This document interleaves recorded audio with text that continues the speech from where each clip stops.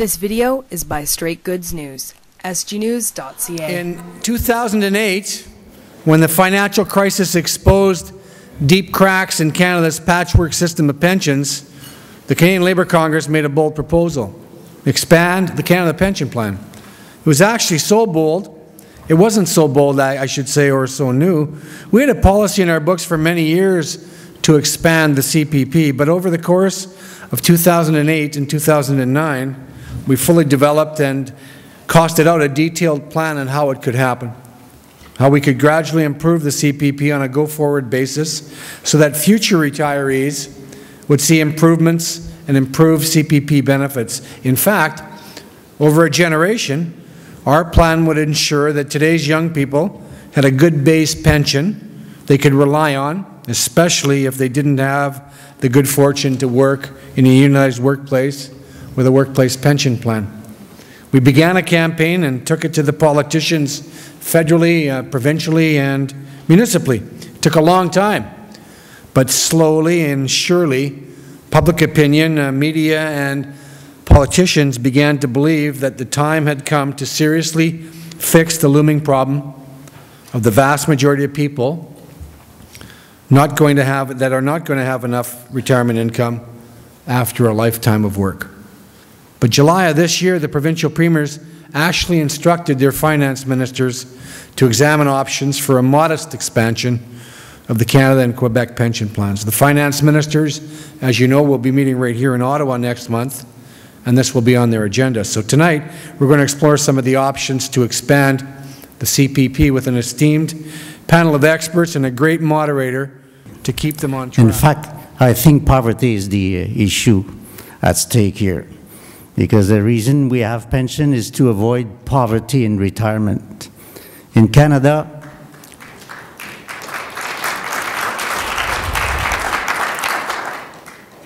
even if Canada ranks fourth among in the world for its uh, pension system, we still have 35% of people over age 65 who have to rely on the GIS.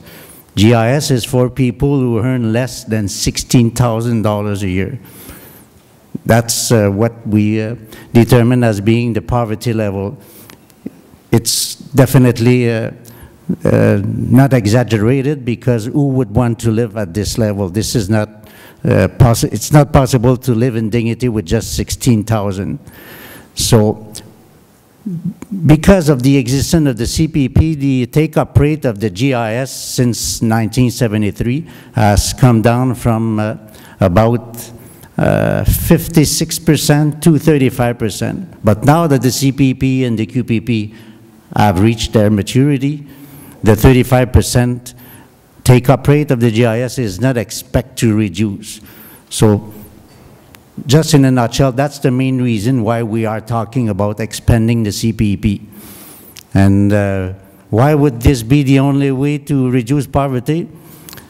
It's obvious. If you don't force people to save, they will not save. Some people do save. A lot of people uh, buy RSPs, but most of them withdraw them before they get into retirement for a lot of uh, good financial reasons. Fortunately, this uh, point has been well understood by those uh, who have to decide about what to do with poverty in uh, uh seniors' ages in Canada. And uh, in June 2010, the Ministers of Finance in Canada have reached an agreement in principle for a modest increase expansion of the CPP. So modest has not been defined, so we were wondering what would it be, just uh, going from 25 to 35 to 40. The CLC think that it should be at least 50%, and 50% is not exaggerated. The uh, maximum earnings on which the CPP apply is 50,000. So if the increase was just 40%, 40% of 50,000, that's 20,000, but that's the maximum. 50% of 50,000, that's 25,000, but not everybody's at maximum. The average CPP is about half of the maximum. So expanding the CPP from 25 to 50%, I consider that to be modest. And this would cost 6% of covered earnings. 3% employers, 3% employees. So uh, some economists have argued that if you increase uh, the uh, contribution rate, some see that as a tax, that could affect the economy. It could.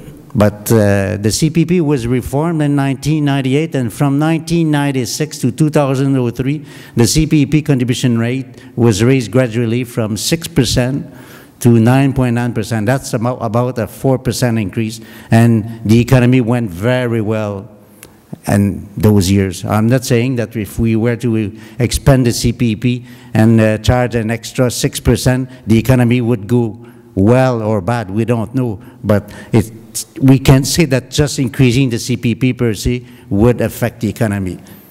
When you uh, would increase the CPP, all the money would be invested because uh, by virtue of some recent CPP amendments, any expansion must be fully funded. Fully funded means that all the money must be put ahead of time. It must be invested. Investing big amount of money is good for the economy. So that's the uh, main message I had for you tonight it's not, there's no case for uh, increasing the GIS to uh, combat or alleviate further poverty. GIS is a good program. I like to compare it to uh, what could be called a Robin Hood approach, but there's enough of Robin Hood. We have to uh, listen to Confucius who said, if people are hungry, rather than giving them fish, learn them how to fish. So this is what the CPP expansion would do.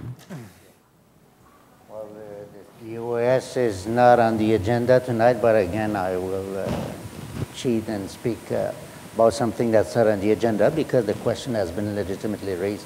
When uh, the announcement uh, made uh, some months ago earlier this year by the Prime Minister in Europe that the eligibility age for OAS benefits would be increased to 67, I was shocked because the OAS needs to be revised, but not in that manner. There is a big problem with the, GI, the, that it gives uh, money to seniors just based on uh, residency tests. It's not based on a need, it's not based on a right.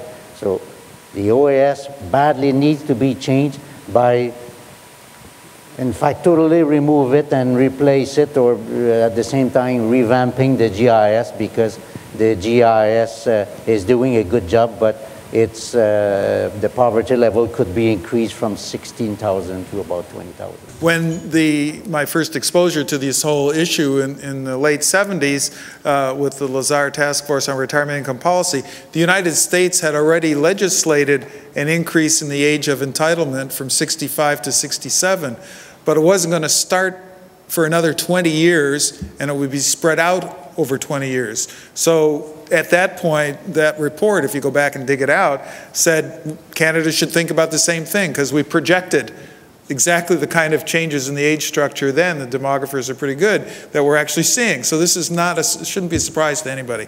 Um, second uh, example is, is in the parliamentary committee in 83, you know, there was discussion about what do we do about the fact that the population is aging, life expectancy is increasing.